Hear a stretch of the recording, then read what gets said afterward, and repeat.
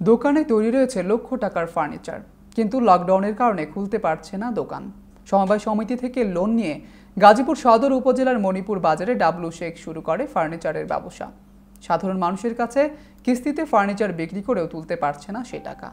পরিবারের উপার্জনের একমাত্র ব্যক্তি ডাবলু শেখ। পরিবারের সদস্যদের মুখে হার তুলে দিতে না পেরে অসহায় হয়ে পড়ছেন এই ক্ষুদ্র ব্যবসায়ী। অন্যদিকে, চাপ রয়েছে লোন পরিশোধের জন্য সমবায় সমিতির।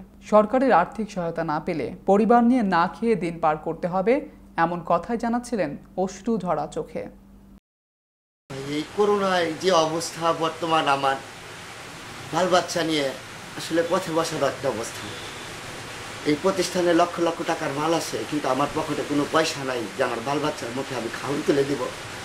মাননীয় প্রধানমন্ত্রী দেওয়া হলে আমার এই দোকানের সমস্ত সম্পদ নিয়ে আমাকে কিছু টাকা জানি সে দেয়। সেই টাকা দিয়ে আমি আমার বাল বাচ্চার মুখে আহার তুলে দিতে পারি।